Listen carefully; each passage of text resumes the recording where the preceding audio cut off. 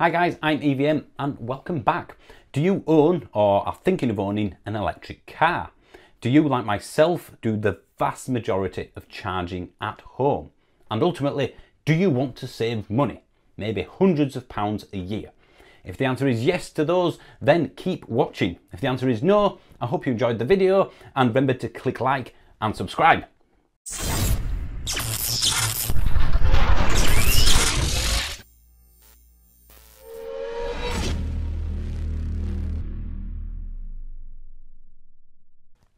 Let me explain exactly what I mean by this.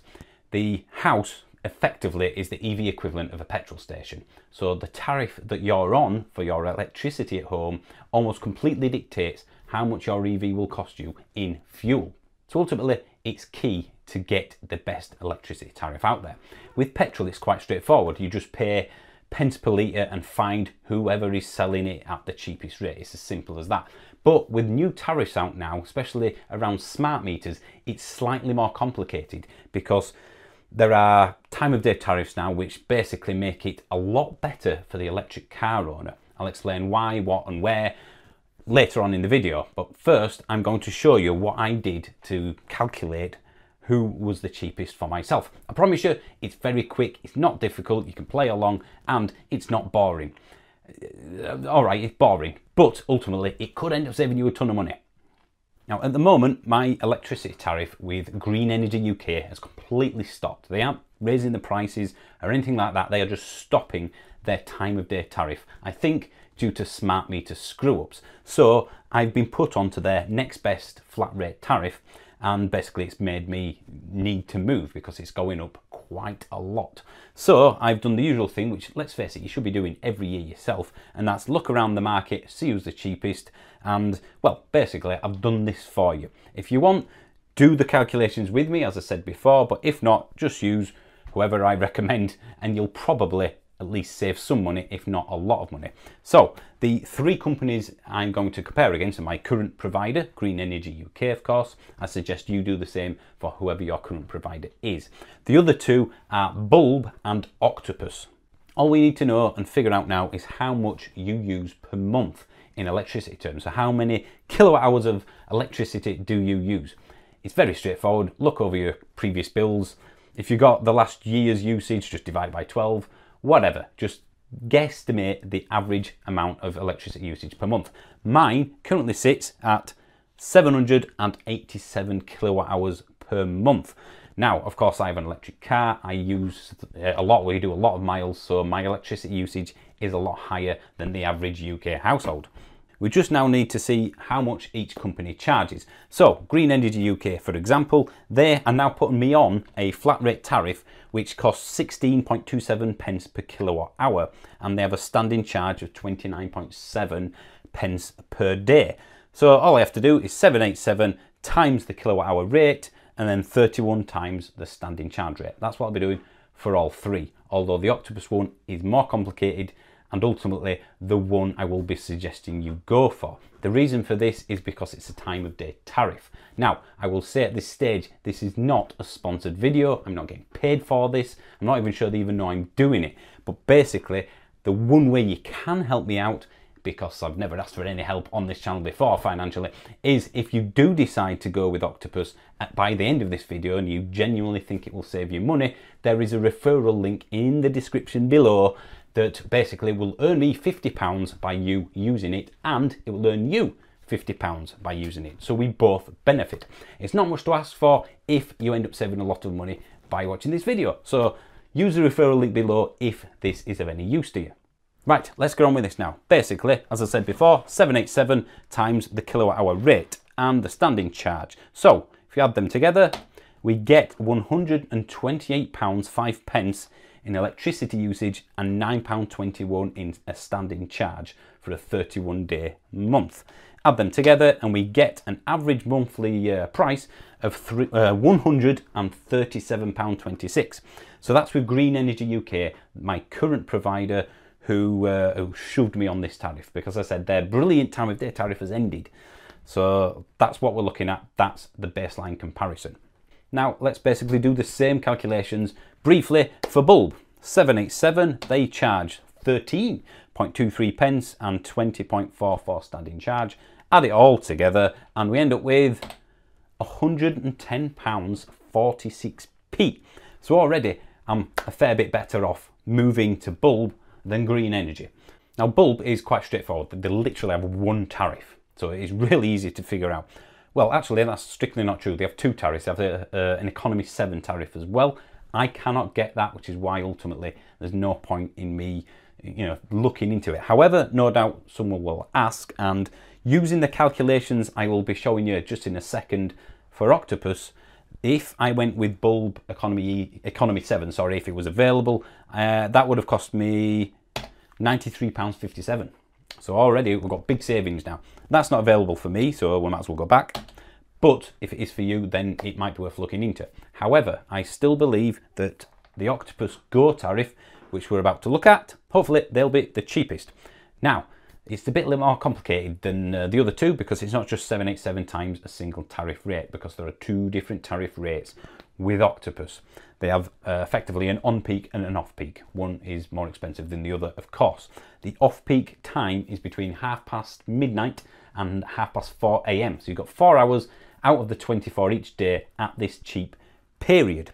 So the hard bit is to figure out how much you will end up using during that off-peak period. It's extremely easy to make your car charge during the off-peak time. So if you do a lot of charging as I do, then you can shove all that straight into this off-peak period with no hassle at all. I'll show you how very quickly later on in the video, but basically well over half of my electricity usage is my car. So shoving that into the cheap period is very beneficial and is key to this entire video. Now, as I've been on a time of day tariff for the past uh, 18 months or so, I already know my usage. The habit for you is to figure out how much you will be able to use during the off-peak time. So ultimately, almost everything your car charges should be able to be shoved into this off-peak period. So that's something you need to figure out. My timing works out as follows. I have erred on the side of caution of this and, and reduced my off-peak usage just to be on the safe side. But basically, I use 387 kilowatt hours on average per month during the day, the peak rate, the, the highest tariff, and 400 kilowatt hours during the off-peak time. So as you can see, a lot of my usage, more, most of my usage is when it's at the cheapest rate. Now, those rates are 13.31 pence during the on-peak period and just 5 pence during the off-peak period. So you can see where we're going here. So basically, it's just 400 times 5 pence and 387 times 13.31. Uh, add all that together, including the standing charge, and we get to £51.51 for the on-peak period, £20 for the off-peak period. So more than half of my usage is costing me less than half in, in money terms, which is why it makes sense for an EV driver. Uh, oh, excuse me. So if we add all that together, again with a standing charge, £79.26 per month. That's a big difference. So I think the best thing we could do right now is to put all three prices next to one another. There we go. So Octopus Go, in fact I'll say them last. En Green Energy, £137. Bulb, 110 and Octopus Go, £79. That's a big, big difference, all for the sake of moving my energy usage to that off-peak period. Just the car, nothing in the house. I haven't, I'm not setting the washing machine so on a timer so it, so it charges during the off-peak period. Is literally just moving the car charging to that period. So what is that per year? Right, so we've got 1647 with green energy. Remember, this is just electricity usage. 1325 with bulb and 951 with the Octopus Go tariff. That's a big difference. That's huge. Wow, I didn't realise it'd be so much. In fact, what is the difference? Nearly £700 a year compared to the tariff that Green Energy shoved me onto. Bulb, who again are very popular in the EV community, still £374 cheaper. So you, can see why this makes sense. Moving that uh, energy into the off-peak period makes it so much cheaper and as it's so easy to do, for me, it's a no-brainer. Why would you not want to do this? You're getting the same product for a lot less price. That's a better return than solar panels. In fact, if, if you could keep that up, that's that rate of savings per year and use some man maths, you've basically paid for solar panels in about what six years, seven years of, of electricity savings. Why people don't spend half an hour, even an hour, a year figuring out who the cheapest is for them is beyond me. It really baffles me. It's just the ultimate of laziness. If someone paid you for an hour's work, £700, I think you'd do it. Alice!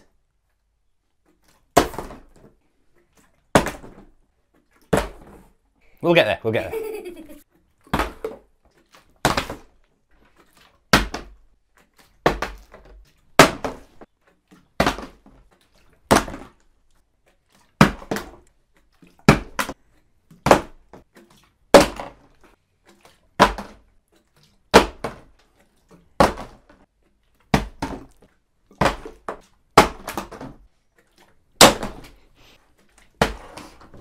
Thank you.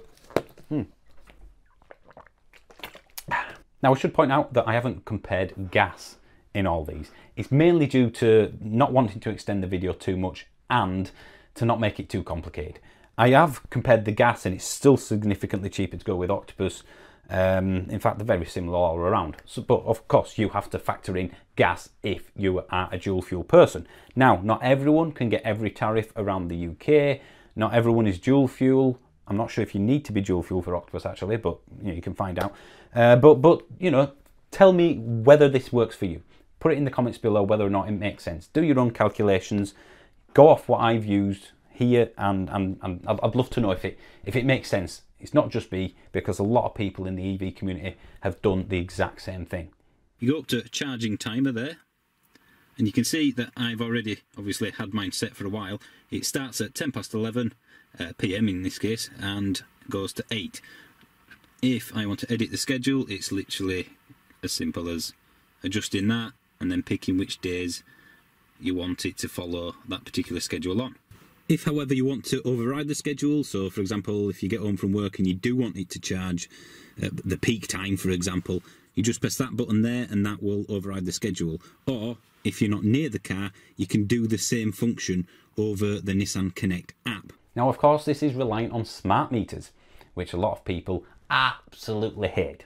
Now, I don't hate them at all. I love smart meters. I think the concept of them is brilliant. They work, well, the idea of them works perfectly and they do genuinely save you money, as I've proven here. However, the problem is how it's been rolled out. All the generation one crap, all the the waste of money. The, it's been a total waste of money and time for everyone involved. That I have a problem with. That is the biggest issue. But the concept of a smart meter is a very good one. And the Octopus uh, Go tariffs, although you may have to wait one, two, three months after signing up to get it, uh, and who knows where the future will lie. They are the SMETS 2 Generation 2 meters. They are the ones that are worth waiting for. They're starting to roll them out. And at the moment, they're the only ones doing that using this time of day tariff. That's why I'm ultimately recommending them. That's why I have already changed to them and why I have the referral link below. 50 quid each. Right, so that's pretty much it. It's as simple as that. If you want to save, well, who knows how much. Let me know if you're on a cheaper tariff than this already. Please do in the comments because I'd be quite interested to do that. But just for electricity, in the comments below, tell me how much you would have, well, it would cost you on your current tariff based on 787 kilowatt hours. Use the figures that I've given you and tell me how much that would have cost you in the whole year. So for me, it's 951 with Octopus. How much over the year would it have cost you on the tariff you're on using my electricity usage? Um, and, and ultimately, if it saves you money, why you not switch? I literally signed up online, two emails later, and about two weeks, I think, it was done. It's, it's, it's very straightforward. And that's the same for changing between anyone. Um, they've got very good uh, customer service ratings on Which and all that sort of things. They've been around for quite some time, and I think they're full of techie geeks, which is a good thing. Uh, green energy, I should say, for the past two years have been brilliant. But the tariff that was brilliant has completely gotten it stopped. So ultimately, I had to move. I'm not saying don't go for bulb either. They're meant to be very good, but ultimately, for me, as a Yorkshireman, it's all about the money.